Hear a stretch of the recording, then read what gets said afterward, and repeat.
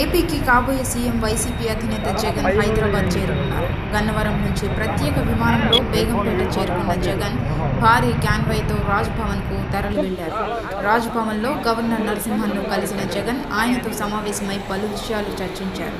ఈ సందర్భంగా వైసీపీ శాసనసభాపక్షం తీర్మాన ప్రతిని గవర్నర్కు ప్రభుత్వం ఏర్పాటు చేసేందుకు తమను ఆహ్వానించాలని జగన్ గవర్నర్ను కోరారు.